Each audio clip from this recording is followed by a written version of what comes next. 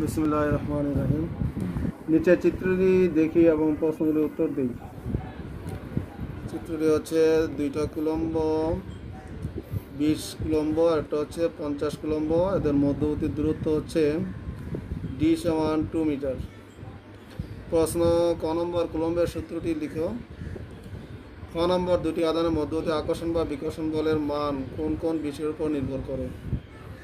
উদ্দীপকে প্রদত্ত আদান দুটির মধ্যে ক্রিয়াশীল বলের মান নির্ণয় করো গহ নম্বর, কুলম্বের সূত্রের গাণিতিক রাশিমালা নির্ণয় করো এবং এ থেকে কুলম্বের সংজ্ঞা দাও। অথবা উদ্দীপকে প্রদত্ত আদান দুটির মধ্যে ক্রিয়াশীল বলের মান নির্ণয়ের গাণিতিক রাশিমালা নির্ণয় করো এবং এই একক আধানের সংজ্ঞা দাও। প্রশ্নোত্তর ক নম্বর, কুলম্বের সূত্র হচ্ছে নির্দিষ্ট মাধ্যমে দুটি বিন্দু আদানের মধ্যে ক্রিয়াশীল আকর্ষণ বা বিকর্ষণ বলের মান আদানদ্বয়ের গুণফলের সমানুপাতিক। নির্দিষ্ট মাধ্যমে দুটি বিন্দু আধানের মধ্যে ক্রিয়াশীল আকর্ষণ বা বিকর্ষণ বলের মান আদানদ্বয়ের গুণফলের সমানুপাতিক, এদের মধ্যবর্তী দূরত্বের বর্গের ব্যস্তানুপাতিক এবং এই বল এদের সংযোজক সরলরেখা বরাবর ক্রিয়া করে। এটা হচ্ছে কুলম্বের সূত্র। খ নম্বর প্রশ্ন উত্তর হচ্ছে, দুইটি আদানের মধ্যবর্তী আকর্ষণ বা বিকর্ষণ বলের মান নিম্নলিখিত বিষয়গুলির উপর নির্ভর করে। দুইটি আধানের মধ্যবর্তী আকর্ষণ বা বিকর্ষণ বলের মান নিম্নলিখিত বিষয়গুলির উপর নির্ভর করে, যথা আধান দুটির পরিমাণের উপর। দুটি আধান এদের পরিমাণের উপর নির্ভর করে আদা আকর্ষণ বা বিকর্ষণ বলের মান। দুই নম্বর আধান দুটির মধ্যবর্তী দূরত্বের উপর নির্ভর করে এবং তিন নম্বর আধান দুটি যে মাধ্যমে অবস্থিত তার প্রকৃতির উপর নির্ভর করে। এটা হচ্ছে খ নম্বর প্রশ্ন, উত্তর শেষ হলো। গ নম্বরে, উদ্দীপকে প্রদত্ত আধান দুটির মধ্যে ক্রিয়াশীল বলের মান নির্ণয় করো। বল মানে অঙ্ক করতে হবে আমাদের এখন। আমরা জানি বল অ্যাপ সমান C into Q one Q two by D square হলো কুলম্বের সূত্র।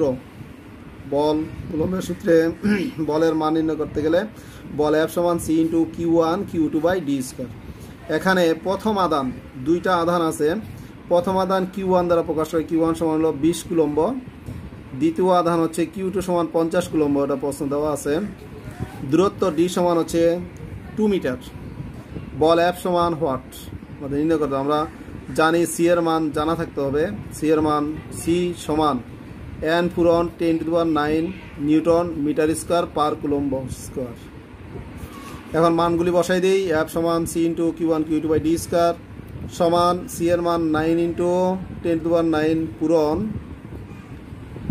আবার বলি সি এর মান নাইন পূরণ টেন টু পাওয়ার নাইন পূরণ কিউ ওয়ানের মান হচ্ছে বিশ কিউ টুর মান হলো পঞ্চাশ ডি এর মান হলো টু সি স্কোয়ার এখন এগুলি উপরে সবগুলি গুণ করে দুই দুয়ারে চার দ্বারা ভাগ করলে টু পয়েন্ট টু ফাইভ পূরণ টেন টু দেওয়ার টুয়েলভ নিউটন হবে।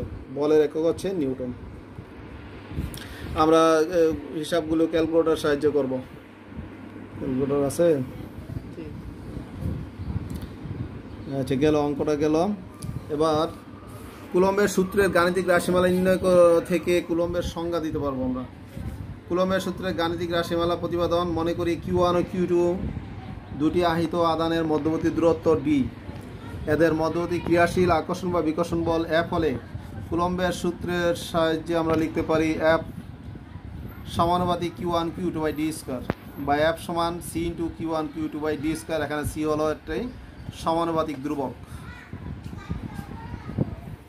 শূন্যস্থানে এর মান মানে সি এর মান নাইন পুরন ten two one nine newton metre square per coulomb square.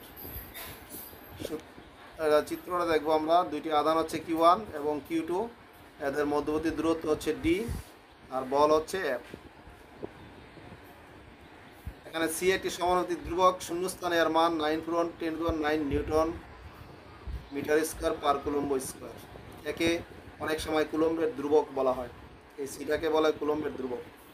সমীকরণ এক এই কুলম্বের সূত্রের গাণিতিক রাশিমালা। এই সমীকরণ এক হচ্ছে গাণিতিক রাশিমালা। এক কুলম্ব আধানের সংজ্ঞা। মানে এক কুলম্ব। ওয়ান সি হচ্ছে এক কুলম্ব।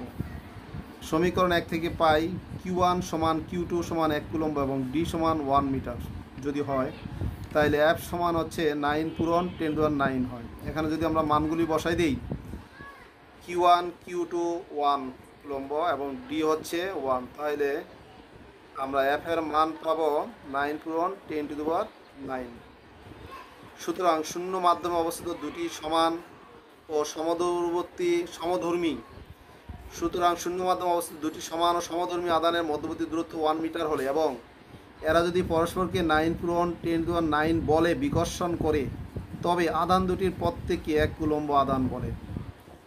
এটা হচ্ছে গহ নম্বর প্রশ্ন। আজকে পাঠ এখানে শেষ।